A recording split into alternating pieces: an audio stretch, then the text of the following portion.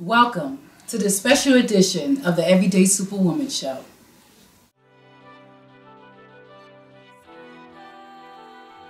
My guest today is quite fascinating.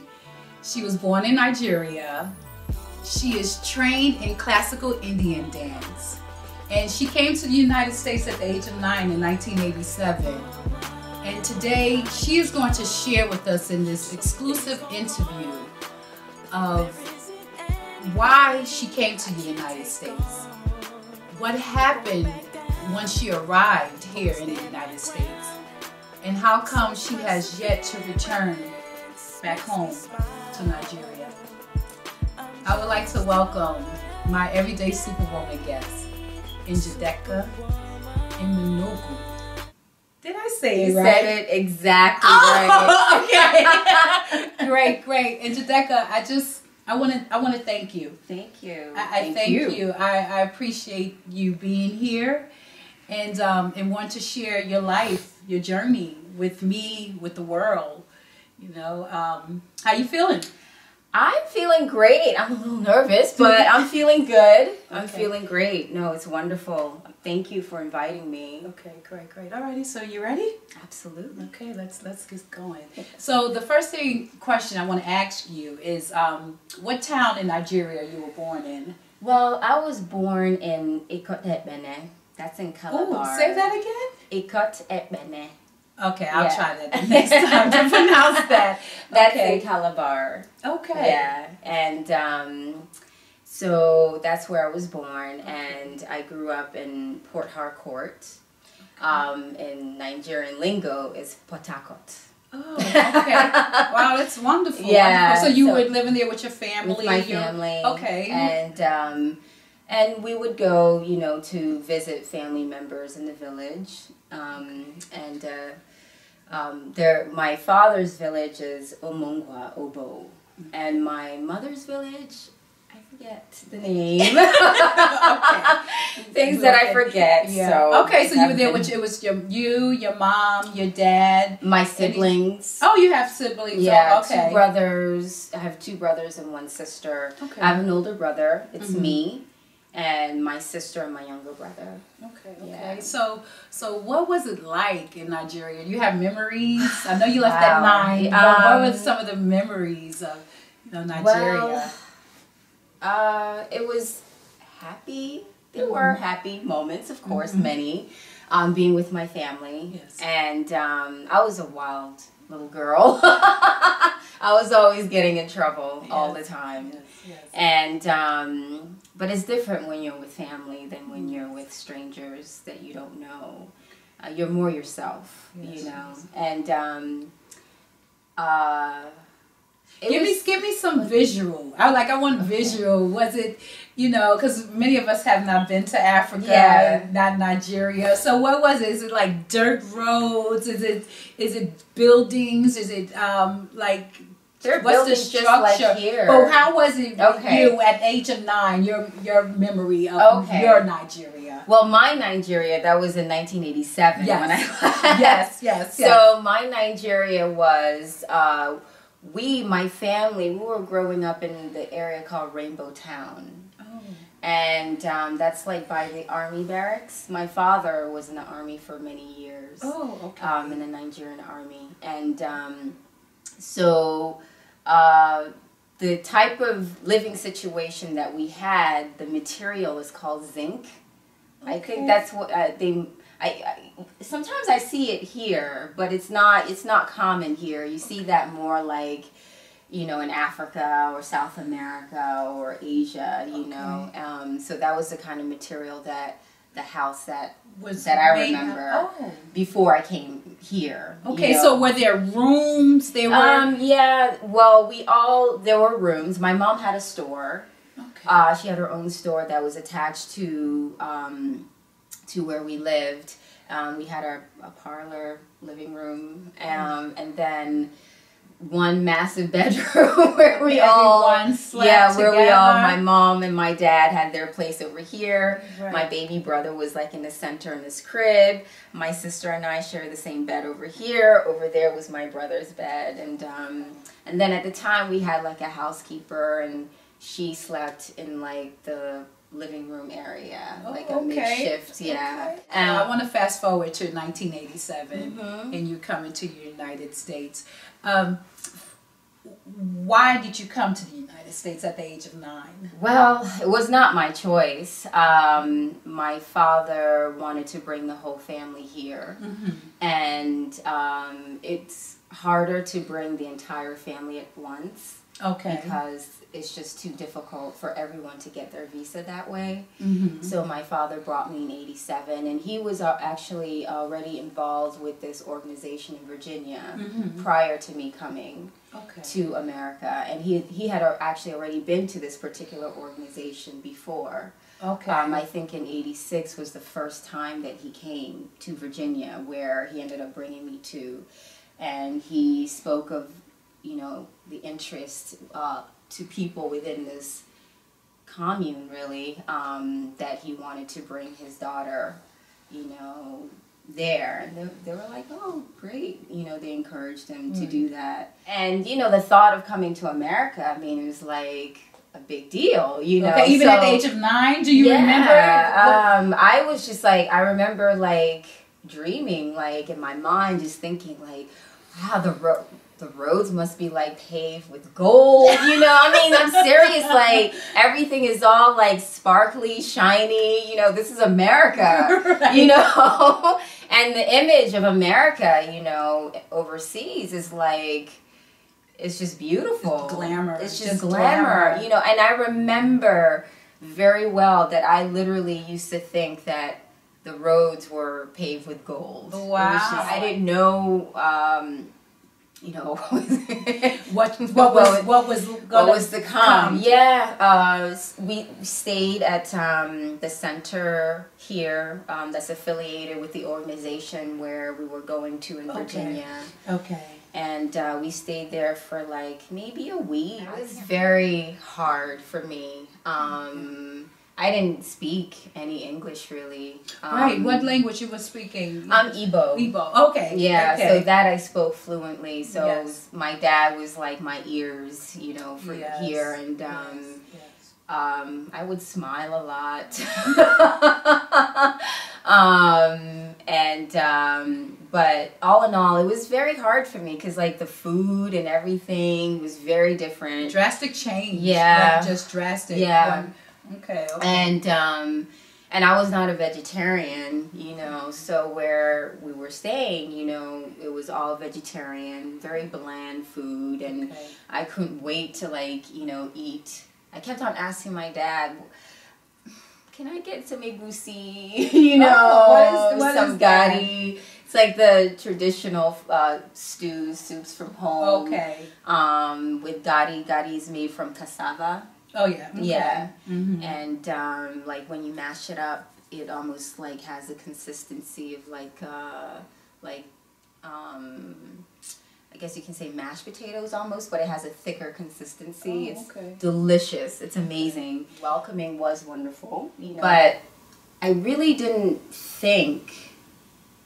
Now, like reflecting back, I really didn't think that I was going to be like living there, you know, without my dad. So they did. They found the family for you to stay with at this religious mm-hmm. organization. Mm-hmm. Okay, and then once you were settled, then he Yeah, left. they, yeah, they were trying to see which families that I'll fit into, which Okay. families, you know, would take me in as, you know, um, as Now, what was that? Was that a process? Like, I mean, I'm I'm sure it was a process, but did you have to go through many families before you settled in with one? Um, I I was invited to various different families, Oh. to, you know, to see, Okay. you know, how I would fit in and stuff, Okay. and.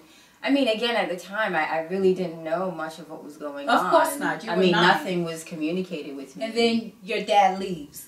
He And he- goes. yeah, he he- goes back to Nigeria. Yes, once they found the family and um, uh, he, you know, spoke with the family and everything and um, and introduced me to the family and to the school that I was going to be going to there because it was a school in the commune. Um, Okay, so I want you to describe that family to me. okay. Uh, they were the very first family that I lived with, I believe, for like, oh gosh, let's see, 9, 10, 11. Oh, I think I was almost 12 Okay. when I left, when I moved to another family. Um, they were, you know, typical Southern white family. Um, I never really was around white people, you Mhm. know, um, in Nigeria. I, my dad had um, European friends, you Mhm. know, I mean, every now and then they might come and visit and say hi, but it was never like a concentration of like, you know, being around white, people. Right. I, I never lived with white people before, you know, so that was definitely my first. And they were typical southern southern family, and um, and they had a lot of kids. Okay. um, and um, the living arrangement, which was very interesting, was almost similar to what I grew up with in In Nigeria Oh, okay. um, to some degree. Like they had, of course, like the kitchen, the bathroom was in the house. It was not Okay, in it the was house the house. outside. and um, and they had the living room, and then one massive bedroom where we all actually slept on the floor. Oh, okay. And the oldest son slept um, next door. You know, right right next door Okay. um, to the next room around the corner, and um, they had a python, um, and they had a dog and a cat. okay. and um, I mean, It was just something I guess you just never can.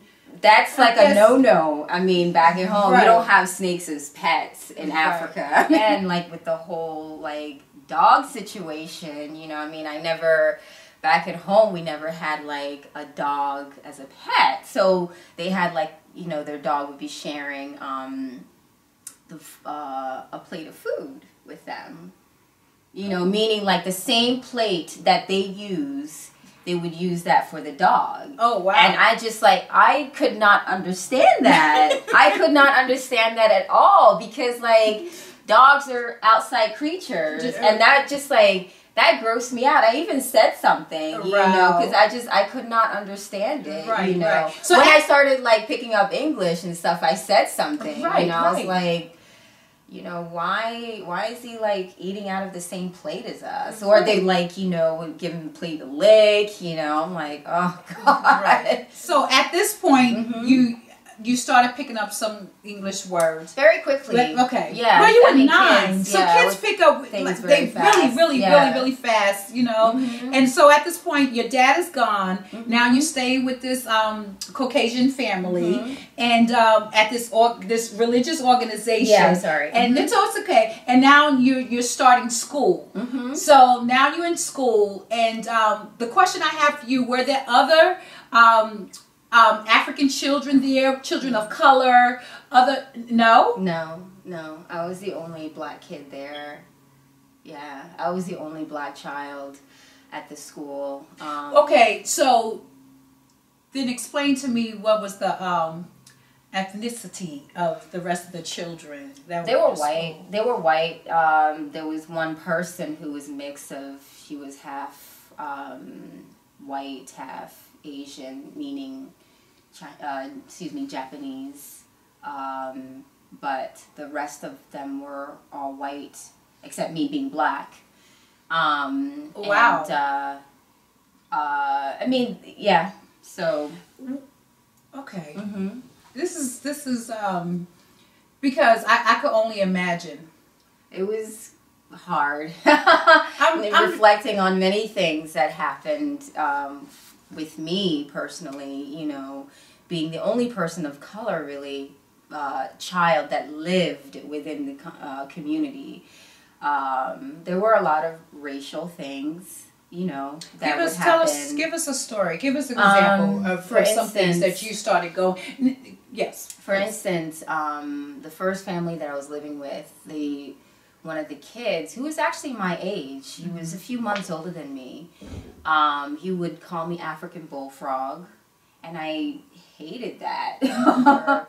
the mom screaming at me, saying, "You get back in there, you pickaninny," you know, and I didn't know what that was. I didn't know what a pickaninny was, Right. you know Right. right. And um, and I remember going back to school, and you know, we had like meditation Mm-hmm. in the morning at the school. It's a parochial school, Right. You know, religious school. School, right. Um, and I remember before meditation, I remember saying that um, that the mom called me a pickaninny. Right. Everybody started laughing, including the two teachers who are husband and wife and all the kids.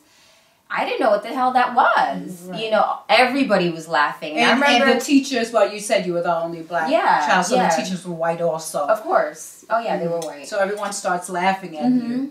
And um, and so I remember turning to one of the girls. She was right behind me. She was like the teacher's pet. Right. And I said to her, "You know what that means?" She was like, "Yeah." you know, and I was like, "Okay," you know. So I started laughing too. I didn't know. Wow. Right, You you know, I didn't know. And Right. um so that was that. When did you find out actually what pickaninny?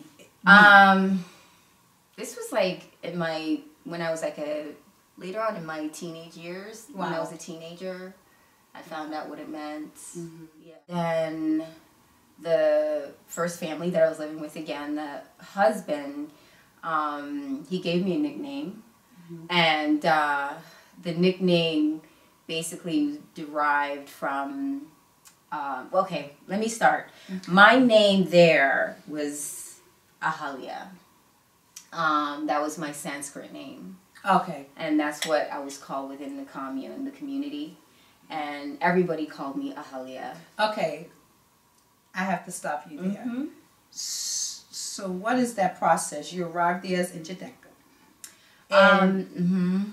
Well, before I came to the States, my father asked for all of us to have Sanskrit names. okay.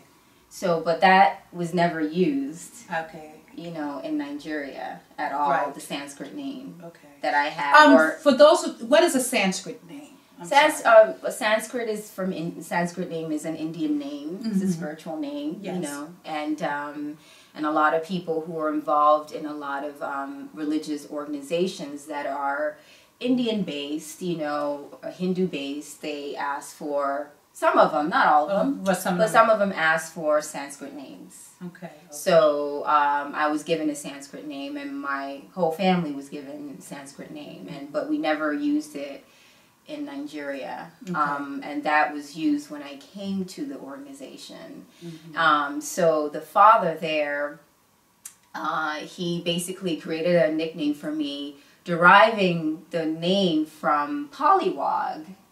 The poly, you know, Polywog. The, the I don't know what polywog Okay. is. I'm sorry. Okay. Forgive me, No, but I just okay. don't.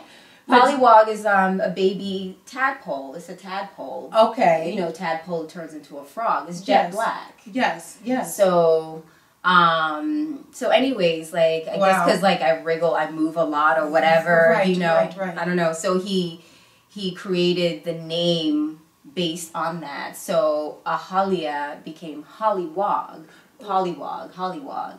So, um, so a lot of my friends, you know, started calling me Hollywog. You know, and um, and How did that make you feel? Did I didn't. I mean, I I didn't. Again, didn't I didn't know. know. I You was like, know. I was like ten years old. I didn't Okay, know. Right. Right. And then later on, as a teenager, um, I think one of my friends, you know, shortened it to Wog. So that was my nickname growing up was Wog. So everyone called me Wog.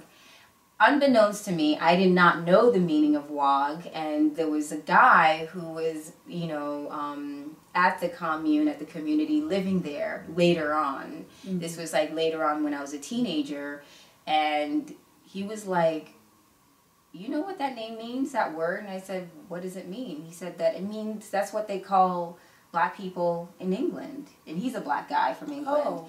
He said he said that that's nigger. That's what they call black people. It means nigger. So, so your dad comes. hmm You were 13. Mhm. You go to another family. Your dad leaves again. Yeah, I ended up living with my father. Again, I didn't move in with him immediately, which I was hoping that I would. Um, and um, in order for me to move in with him, the lady said that I had to clean her car because I was um, grounded So I had to clean her car before she would use us use us All for kind work. of stuff. Okay, all right. kinds of stuff. Well, of course, now you know you're older, and that's not true. You could you would Right. want to live with your dad right, anyway. right. So this time that you're living with your dad, Mhm. how, how long was that that you stayed for like him? about nine months. Nine months. So you about with nine. him? Was it nine, ten months? I don't know. Okay, like um, in the community, you were living in the Mhm. community, yeah. but um, you went to school. So did some of the abuse um, subside? Oh no, it continued. It continued. continued, It and you didn't tell your dad what was going on. Mm-mm. You I just never told with him. Well, it came out of, of- my um. It came out my behavior. I'm sure it did. It came out in my behavior. Sorry. Mhm. So now your dad is here, and you didn't share with him the abuse was going on. In he never fear, questioned. in he never- fear of, but why wouldn't you tell him at this Um, point? a lot of times there um, when children some kids who were for whatever picked on specifically by the teachers um, if we went back to tell our parents what happened the parents would go to the teachers tell the teachers what happened you know you go to school the next day you're screamed at by the teachers Okay. Okay. so it becomes this thing where you don't want to say anything because you don't want to get yelled at okay. so they would use fear. So for me, um, the parents didn't really, they did not care. My father, all the parents, I have to say, they were in their own world of worshiping this man. The so guru. the guru. So there, that was not their concern, and I really was not really so much of their concern. They did whatever menial thing that they needed to provide for me within the community as a child. Mm-hmm. But in the greater scheme of things, you know, they really did not care about me. Are you ready to go back home? I am. You ready? I am very ready to go back home, and I know it's gonna be an amazing, very emotional um, experience. And um, when I see, you know, pictures of um, my um, my siblings, it's interesting because I don't dream about them. Because I'm not around them. But I mean, I have pictures of them now as adults and stuff, you know. But when I think about them, I still think about them, you know, when I left. Um, so I see them as still kids. Um, so um, I'm really looking forward to that. I don't know if I should say when I'm going home because No, say. You don't have to say when you go home. okay. Thank Don't you. say when you're going home. That let that be for you.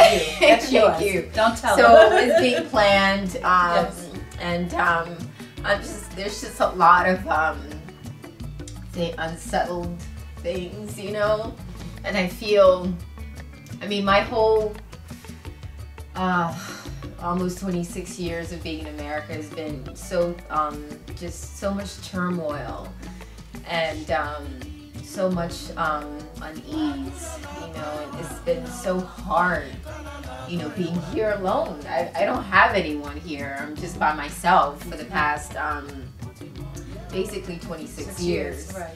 You know, um, I had to basically fend for myself, you know, um, get jobs that were like under the table jobs or whatever to survive, being homeless, just crazy stuff you know, just really crazy stuff. And my mom doesn't really know anything of what I went through. And she, she's someone that's become embittered um, for whatever reason. I guess with the choices that she made, you know, and um, and it's almost like she does not want to accept those choices, you know, and just kind of like spilling them over on me as if it's my fault, you know. Um, like I'm not your problem. I've not seen you in almost 26 years, you know. Um, but and I think a lot of it is because it's just um, confusion and anger of not seeing her daughter, you know, in so long. Um, and but I'm really looking forward to that, and I just feel it's time for me to go home. And, You know what a story. I remember when I first met you. yeah. Um, we did the show Medicine with Productions, and the name of the show was called The Calling. Yes. You Yes. know, um, we named it that for a reason. Yeah, we wanted yeah. to see who was going to answer Yeah, that was amazing. And um, you showed up.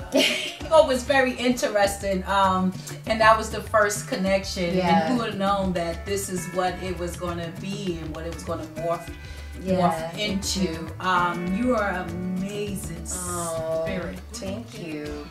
Amazing. Thank you. Um, so strong. Thank you. You know, um, brilliant. Thank you. know, Oh. I feel so- I just feel honored, you know, and, and I love you. I, I really love you. And I thank you for taking your time to want to share.